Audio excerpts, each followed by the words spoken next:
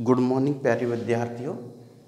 आज हम types of clauses और सेंटेंसेस के बारे में संक्षिप्त में जानने का प्रयास करेंगे कि क्लॉज क्या होते हैं सेंटेंसेस क्या होते हैं।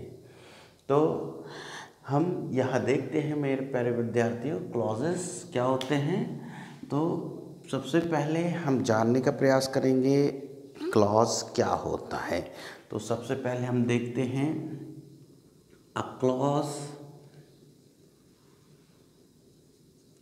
is a group of words इस चीज़ को ध्यान रखिए ग्रुप ऑफ़ वर्ड्स पे पहली बात a group of words that has a subject and predicate. That has a subject or and predicate. तो उसका एक सब्जेक्ट एक से ज़्यादा सब्जेक्ट भी हो सकते हैं और प्रेडिकेट भी हो सकता है। तो क्लॉज क्या है? पहली बात तो ग्रुप ऑफ़ वर्ड्स है। जैसे हमने पिछले वीडियो में हमने आपको बताया था, जब हमने वर्ड फ्रेज क्लॉज और सेंटेंसेस के बीच में अंतर समझाया था तो ग्रुप ऑफ़ वर्ड्स तो फ्रेज भी है क्लॉज भी है और सेंटेंस भी है। और पर सब्जेक्ट और प्रिडिकेट वाली बात है तो फ्रेज में सब्जेक्ट और प्रिडिकेट नहीं होता क्लॉज में सब्जेक्ट और प्रिडिकेट होता है। दूसरी बात इट में give incomplete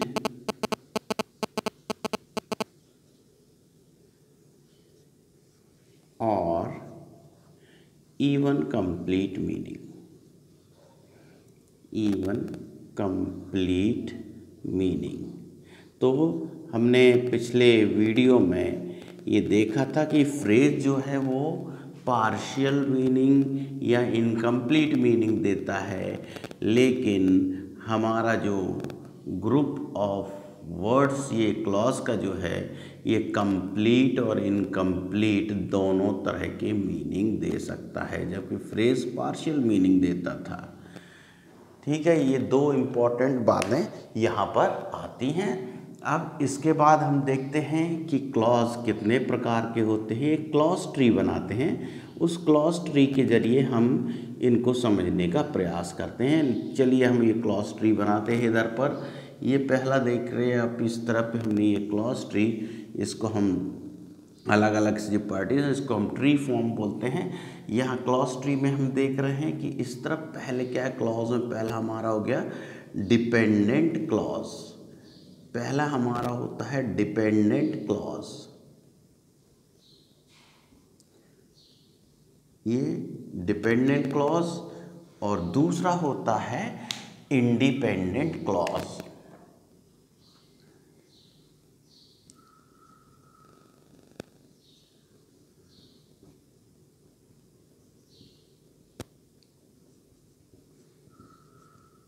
तो ये दो तरह के क्लॉज हैं।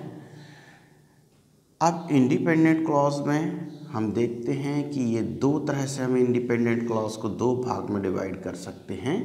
इसको एक मान लें मेन क्लॉज या प्रिंसिपल क्लॉज वाला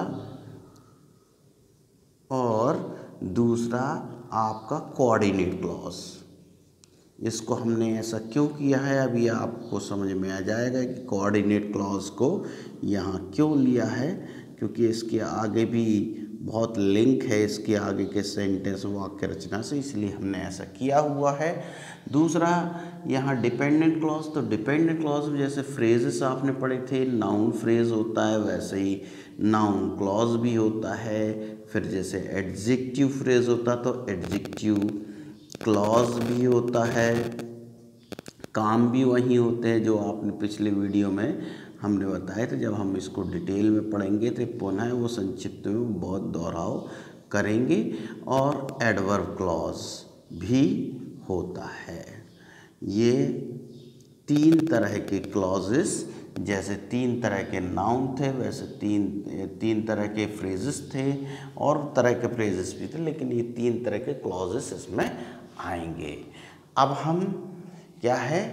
इसको डिपेंडेंट और इंडिपेंडेंट को यहाँ जो हमने क्लॉज को डिफाइन किया हुआ था, उस क्लॉज में जो हमने मेन चीज़ पहले तो ये देखी थी अ ग्रुप ऑफ़ वर्ड्स दूसरी चीज़ ये देखी थी कंप्लीट और इनकम्प्लीट मीनिंग देखे और एक और इंपॉर्टेंट चीज़ सब्जेक्ट एंड प्रेडिकेट तो फ्रेज भी ग्रुप ऑफ़ वर्ड्स है क्लॉज भी ग्रुप ऑफ़ वर्ड्स है सेंटेंस भी ग्रुप ऑफ़ वर्ड्स है।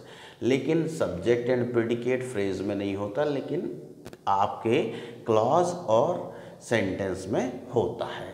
और ये कंप्लीट और इनकम्प्लीट मीनिंग सेंटेंस भी दे सकता है। सेंटेंस तो कंप्लीट ही मीनिंग देगा इनकम्प्लीट नहीं देगा, लेकिन हमारा क्लॉज कंप्लीट और इनकम्प्लीट मीनिंग दोनों दे सकता है। अब इसको हम उदाहरण से समझने का प्रयास करेंगे। चलिए पहले हम ले लेते हैं इंडिपेंडेंट क्लॉज में मेन क्लॉज मेन क्लॉज में जैसे हम एक उदाहरण एग्ज़ाम्पल ले लें समझने के लिए। ही हैज़ आ कार अब दूसरा यहाँ पे लिखते हैं। He has a car and his friend has a car and a bike uh, his friend has a motorbike and has a motor bike.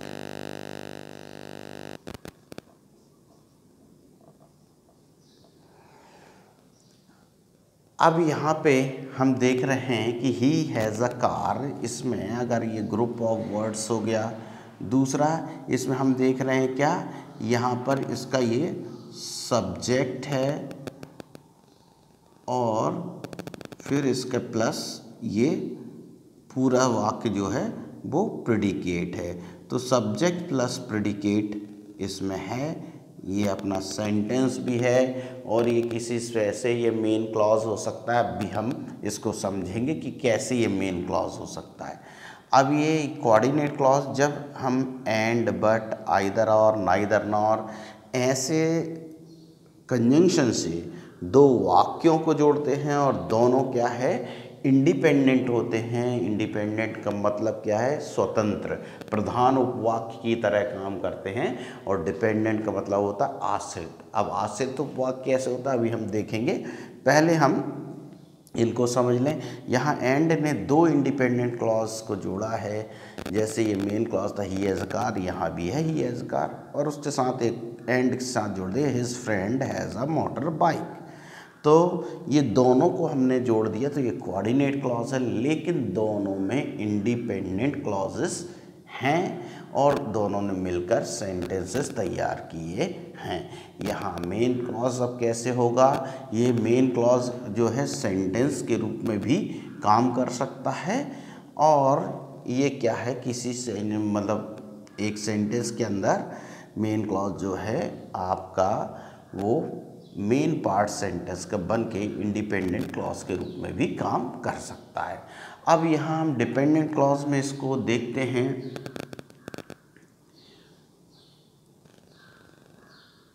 यहाँ डिपेंडेंट क्लॉज में हम देखते हैं कि कैसे ये जो हमने मेन क्लॉज में लिया था ही हैज़ आ कार ये मेन क्लॉज था प्लस इसमें जब हमने which is black he has a car which is black जब हमने ये जोड़ा तो इसमें ही हैज़ अ कार तो इस सेंटेंस का प्रमुख हिस्सा हो गया मेन पार्ट इंडिपेंडेंट क्लॉज है। और दूसरा इसका डिपेंडेंट क्लॉज जो अपने आप में कंप्लीट मीनिंग नहीं देता, जो कि काला है। जो कि काला क्या हो सकता है, पेन भी काला हो सकता है, कार भी हो सकती है और कोई अन्य चीज़ भी काली हो सकती है। लेकिन ये कंप्लीट मीनिंग नहीं देता। तो ये क्या है आपका? ये आपका जो है, ये वाला पोर्शन ये क्या है? इंडिपेंडेंट हो गया आपका। इंडिपेंडेंट क्लॉज हो गया ये। और दूसरा ये क्या हो गया? डिपेंडेंट हो गया। अब हम आपको बता देते कि क्यों हमने इस तरह से इसको विभाजित किया था, क्योंकि आगे वाक्य रचना होती है और इसी कंस्ट्रक्शन बेस्ड पर जो है वाक्य जो रहते हैं हमारे तीन तरह के होते हैं। एक होता है सिंपल सेंटेंस तो हमारा मेन क्लॉज जो रहता है वो सिंपल सेंटेंस का निर्माण कर सकता है और दूसरा क्योंकि उसमें सब्जेक्ट प्रेडिकेट होगा, और दूसरा क्या है? कोऑर्डिनेट क्लॉज जो compound sentence and but either nor nor either nor जो बनते हैं, इनको हम कंपाउंड सेंटेंसेस बोलते हैं। तो ये कंपाउंड सेंटेंसेस की रचना करते हैं। और जब मेन क्लॉज सबॉर्डिनेट क्लॉज को मेन क्लॉज का सहारा मिलता है, एक मेन क्लॉज होता है, बाकी से सबॉर्डिनेट क्लॉज बनते हैं, तब वो कॉम्प्लेक्स सेंटेंस की रचना करता है। तो यही हिंदी में आपके कॉम्प्लेक्स सेंट को सेंटेंस को हम मिश्र वाक्य बोलते हैं और यहाँ इनको हम साधारण वाक्य बोलते हैं सिंपल सेंटेंस को और कंपाउंड सेंटेंस को संयुक्त वाक्य हिंदी भाषा में भी हम पढ़ते हैं। तो ये इसी तरह से तीन तरह के सेंटेंसेस इसी के आधार पर बढ़ते हैं, जो हमने उदाहरण के साथ समझे। अब जब हम आगे अगले वीडियोस में आएँगे तो क्लॉजेस को सेपरेटली डिपेंडेंट क्लॉज जो टाइप्स हैं, उनको सेपरेटली पढ़ेंगे। लेकिन हमें पहले ये जानना ज़रूरी था क्लॉज क्या है तो यह आपने समझ लिया। पहली बात ग्रुप ऑफ़ वर्ड्स है, दूसरी बात सब्जेक्ट एंड प्रिडिकेट होता है, और इनकम्प्लीट और कंप्लीट मीनिंग दे सकता है। ये दोनों चीज़ें। अब इसका लिंक क्या है आगे की आने वाले वाक्य रचना से? इसलिए हमने इसको इस तरह से डिवाइड किया था कि क्लॉज को डिपेंडेंट और इंडिपेंडेंट और इंडिपेंडेंट क्लॉज को मेन क्लॉज और कोऑर्डिनेटर में बताया था, और डिपेंडेंट क्लॉज की जो मेन तीन हैं, नाउन क्लॉज, एडजेक्टिव क्लॉज और एडवर्ब क्लॉज। यहाँ, इन तीनों को समझने के लिए अगर आप समझना कठिन नहीं है, अगर आपने मेरे पिछले वीडियो को देखा होगा जहाँ मैंने फ्रेजेस डिफरेंट टाइप्स के फ्रेजेस के बारे में अपने अलग अलग वीडियो में बताए थे। अगर आप उसको देखा होगा या सुना होगा तो ये आप क्लॉज समझना आपको कठिन नहीं रहेगा। बस क्लॉज क्या है, ये समझना ज़रूरी था, कार्य वही होते हैं। तो चलिए, इसके पश्चात हम क्लॉजेस के पश्चात अब हम सेंटेंसेस के बारे में जानते हैं, थोड़ी वाक्य रचना के बारे में, कि वाक्य रचना हमारी इंग्लिश की कैसी होती है और कितने टाइप के सेंटेंसेस होते हैं। तो आइए हम पहले देखते हैं सेंटेंसेस सेंट वाक्य रचनाओं को देखते हैं कि कितने तरह के वाक्य होते हैं, उनके विषय में हम जानने का प्रयास करते हैं। सेंटेंसेस तो पहले हम जान लें। A sentence a sentence is a group group of words that gives complete sense complete sense तो वाक्य क्या है शब्दों का वो समूह है जो पूर्ण अर्थ देता है। यानी कि इसमें सब्जेक्ट प्रेडिकेट और ग्रुप ऑफ़ वर्ड्स वो बात तो आती है, और लेकिन हमारे क्लॉज में था कंप्लीट और इनकम्प्लीट मीनिंग का। यहाँ इनकम्प्लीट मीनिंग वाली बात ही नहीं होती, ये कंप्लीट ही मीनिंग देगा। ठीक है? अब प्यारे विद्यार्थियों अब हम आगे बढ़ते हैं। टाइप ऑफ़ सेंटेंसेस के बारे में जानने से पहले मूड बेस्ड अभी आपने टाइप ऑफ़ सेंटेंसेस जो देखे थे, हमारे क्लॉज पे कंस्ट्रक्शन आधारित थे, जिस बेस पे हमारे सिंपल कंपाउंड और कॉम्प्लेक्स सेंटेंसेस थे। लेकिन कुछ मूड बेस्ड सेंटेंसेस होते हैं, लेकिन हम उससे पहले, उन मूड बेस्ड सेंटेंस को समझने से पहले कुछ बेसिक चीज़ है हमारी हिंदी और इंग्लिश में जो फ़र्क होता है वाक्य रचना में, उसको समझ लें। पहले हमारी इंग्लिश की वाक्य रचना एक एसर्टिव सेंटेंस होता है, उसमें subject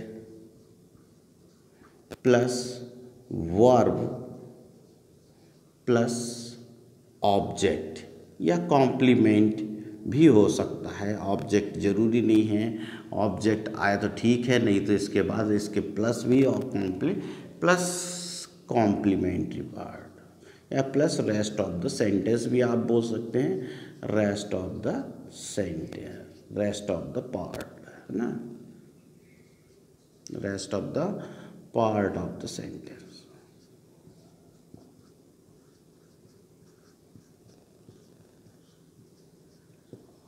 ये, अब ये हम, इसको जब हम कर रहे हैं तो अब हम आपको बता दें कि हमारी हिंदी में जैसे हमने लिखा भी था he gave a book he gave a book अब मान लीजिए ये वाक्य है तो इसमें सब्जेक्ट क्या हुआ? ही गेव हो गई वर्ब और बुक हो गया ऑब्जेक्ट लेकिन वही जब हमारी हिंदी, ये तो हमारी इंग्लिश का पैटर्न है इंग्लिश में हमारी वाक्य रचना इस तरह की है। लेकिन हमारी हिंदी में वाक्य रचना कैसी है, वो देखिए। उसने उसने मुझ, उसने एक पुस्तक दी। ठीक है, अब आप इसमें देखते हैं, यहाँ हमारा जो सब्जेक्ट जिसको बोलते करता, वो तो जैसे इंग्लिश में, वैसे इसमें लेकिन यहाँ देखिए, ये डिफरेंस आ गया, यहाँ क्या हो गया? ऑब्जेक्ट जो था, है ना? ये सब्जेक्ट था यहाँ पे, यहाँ ऑब्जेक्ट पहले आ गया और उसके बाद वर्ब आई ये हमारे हिंदी और इंग्लिश के वाक्य रचना में अंतर होता है। इसलिए बताया क्योंकि जब हम ट्रांसलेशन करते हैं तो हमारे वर्ड्स को जो सेंटेंस है, उसका प्रॉपर स्थान होता है, जो एक निश्चित जगह होती है, उसको वहाँ ले जाना ज़रूरी है, तब सही अर्थ होगा। नहीं तो हम वर्बल ट्रांसलेशन करते हैं, उसने, ही, अबोक गेव ऐसे लिख देते हैं। तो ये वाक्य रचना क्या है? हमारे हिंदी के वर्ड का ट्रांसलेशन हो जाता है। एक सेंटेंस की रचना नहीं करते, इसलिए हमारा ट्रांसलेशन गलत हो जाता है। तो हमें इस चीज़ को समझना है कि हिंदी, इंग्लिश की वाक्य रचना एक साधारण जो एसर्टिव सेंटेंस होता है उसमें सब्जेक्ट वर्ब और ऑब्जेक्ट होता है। अब हम अलग अलग मूड बेस्ड सेंटेंसेस के बारे में जानते हैं। टाइप्स ऑफ़ सेंटेंसेस कितने तरह के होते हैं, उनके बारे में जानने का प्रयास करते हैं।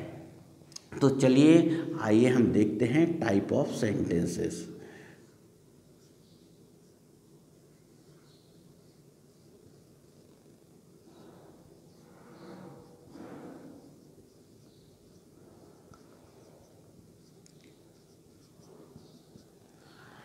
types of sentences में अब हम सबसे पहले देखते हैं, पहला प्रकार होता है हमारा एसर्टिव और डिक्लेरेटिव सेंटेंस एसर्टिव और डिक्लेरेटिव सेंटेंस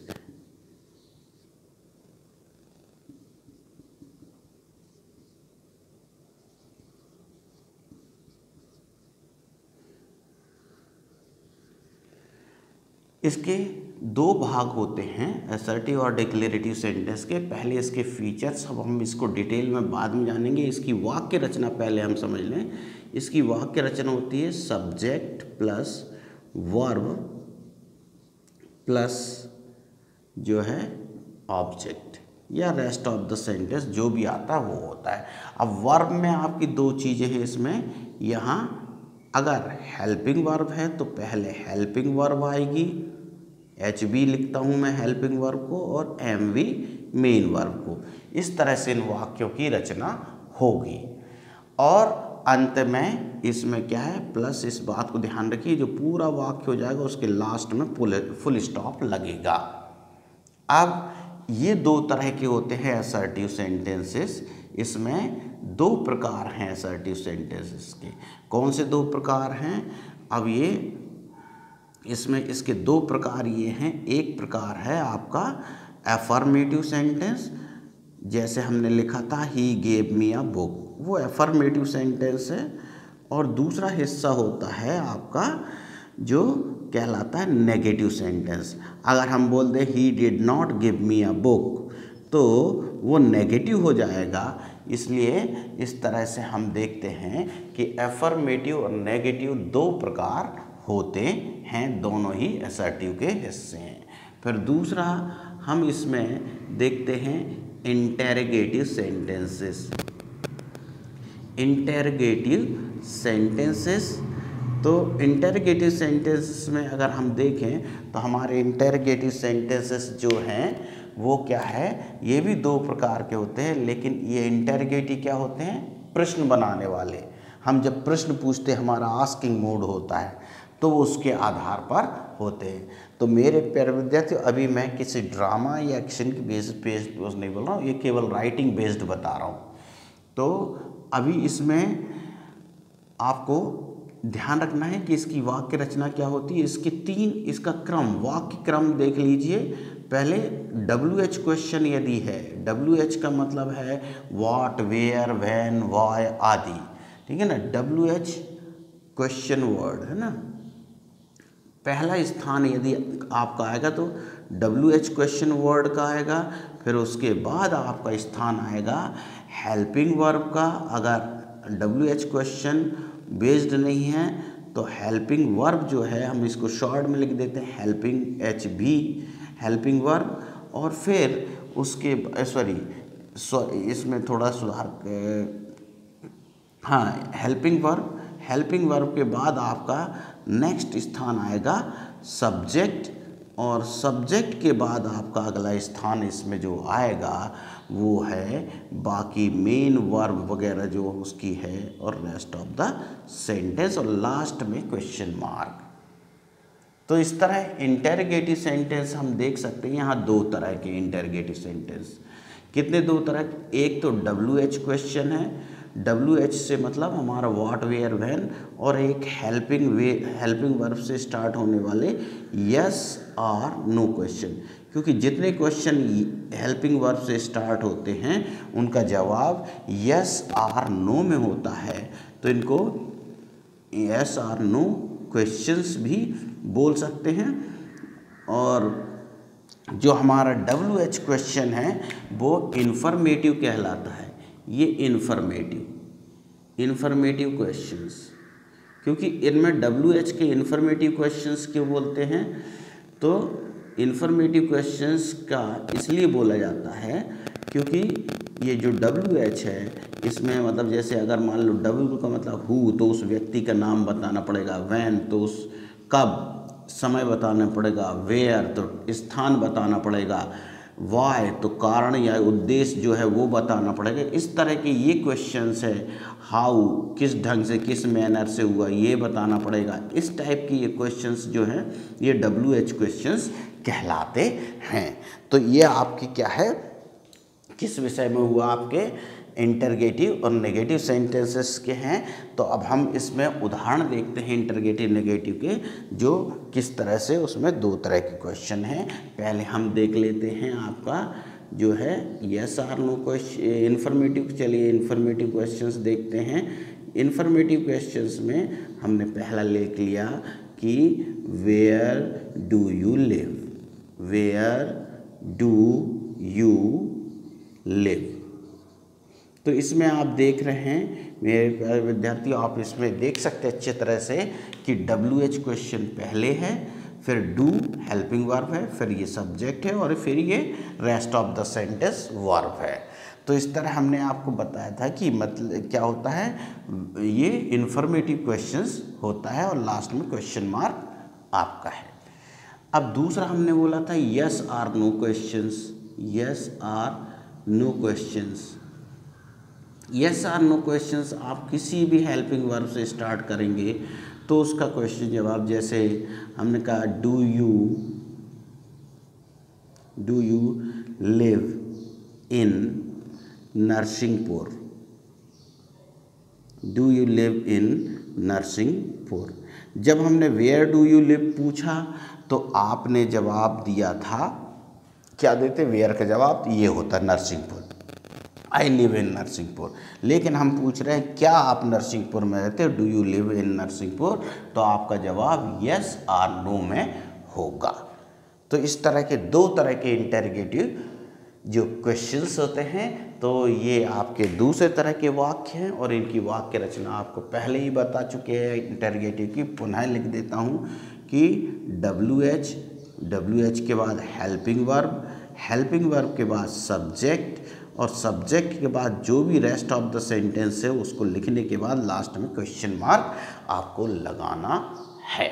जबकि यहाँ एसर्टिव सेंटेंस में हम फुल स्टॉप लगा रहे थे।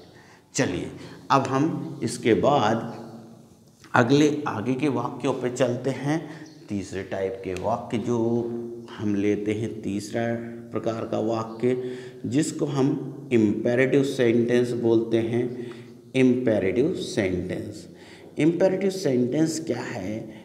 इम्पेरेटिव सेंटेंस इम्पेरेटिव इसको कुछ आदेशात्मक, इच्छात्मक बोलते हैं या जो है तो हम आपको सिंपली बता दें इम्पेरेटिव सेंटेंस जो है, ये हमारे आदेश भी है, इच्छा भी है विश भी है, और हमारा रिक्वेस्ट भी है, सभी तरह की चीज़ें इसमें आती हैं।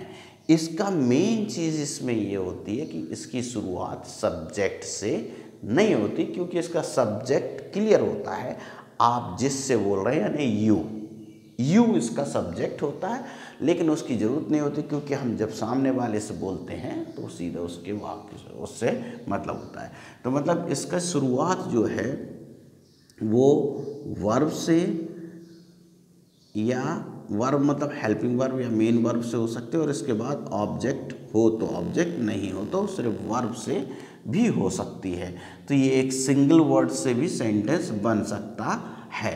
तो वर्ब प्लस ऑब्जेक्ट ये ज़रूरी नहीं है। अब हम इसमें देख लेते हैं इम्पेरेटिव सेंटेंस जैसे उन्होंने कहा सिट डाउन अब यहाँ कोई ऑब्जेक्ट नहीं है। अब जैसे उन्होंने कहा गिव इट टू मी ये आप में आप यहाँ ऑब्जेक्ट आ गया। ये सब है। अब उसके बाद जो रिक्वेस्टिंग वर्ड है, इसके मतलब पहले लग जाते हैं। ये आप ऑप्शनल रहता है ऑलवेज है या नेवर है। ये जो नेवर टेल अ लाई ये सजेशन वगैरह भी है। Never tell a lie always speak the truth always speak the truth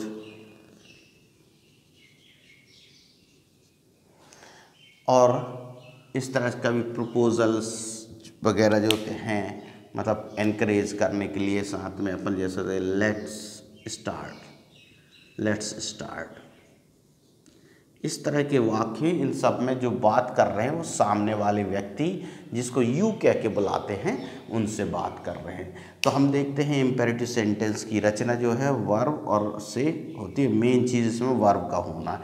verb के आगे अब रिक्वेस्ट वाले प्लीज़ काइंडली और जो वर्ड हो सकते हैं, वो लग सकते हैं और उसके, लेकिन वर्ब के पश्चात ऑब्जेक्ट हो या ना हो, इस पर ये उस पर डिपेंड करता है कि हमारा रिक्वेस्ट कमांड किस तरह का है। अब इसके बाद हम अगला देखते हैं। हमारे जो चौथे तरह के वाक्य हैं, वो कहलाते हैं एक्सक्लामेटरी सेंटेंस एक्सक्लामेटरी सेंटेंसेस क्या होते हैं?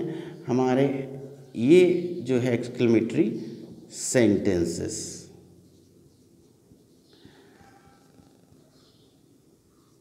एक्सक्लेमेटरी सेंटेंसेस वो वाक्य हैं जो पीरियोडिक साइंस जो हमारे सरप्राइज़ को, अब वो सरप्राइज़ आपका क्या हो सकता है? गुस्से का भी हो सकता है फियर का भी हो सकता है मतलब प्रबल भावनाओं को लेके जब कोई आश्चर्य की सीमा वो व्यक्त करता है, वो उस टाइप के वाक्य होते हैं, जैसे हमने कहा what a man what a man.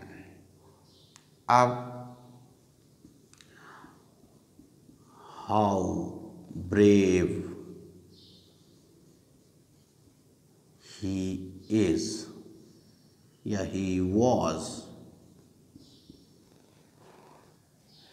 तो हम देखते हैं ज़्यादातर हमारे जो सेंटेंस और भी बोलने के ढंग पे है, लेकिन एक्सक्लेमेटरी सेंटेंसेस अगर हम देखें तो इनकी रचनाओं में अगर हम देखते हैं वॉट प्लस अ नाउन या noun phrase what plus a noun और हाउ प्लस एन एडजेक्टिव और adverb an adjective how plus an adjective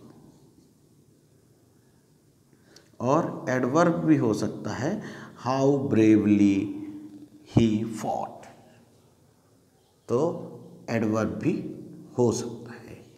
ये दोनों इस तरह से आपकी इन एक्सक्लामेटरी सेंटेंस की होते और ख़ासियत इन सेंटेंसेस की क्या होती है? लास्ट में ये आश्चर्यबोधक चिन्ह जो एक्सक्लेमेटरी साइन है, ये लगता है इनमें ये हमारे आश्चर्यबोधक है और अब हम इसके बाद पांचवी तरह के और वाक्य देखते हैं, जिसमें हम प्रार्थना, वेश या श्राप जो देते हैं optative sentences optative sentences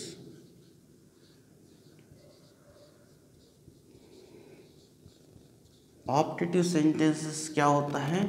हमारे ऑप्टेटिव सेंटेंसेस जो रहते हैं, वो आप, क्या है, हमारी जो विश है, इच्छा, हम शुभकामनाएँ देते हैं बदुआ भी दे सकते हैं, या किसी को ब्लेसिंग दे रहे हैं उस टाइप के वाक्य जो हैं, वो आते हैं।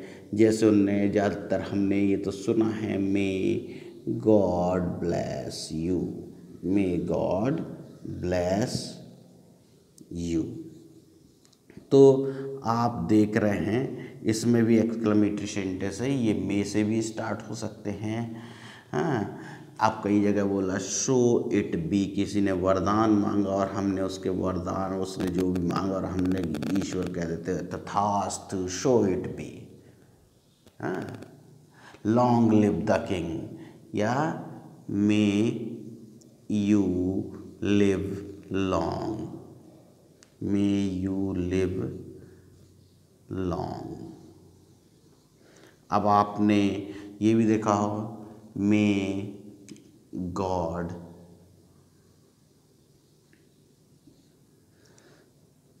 Ruin him, may God ruin him.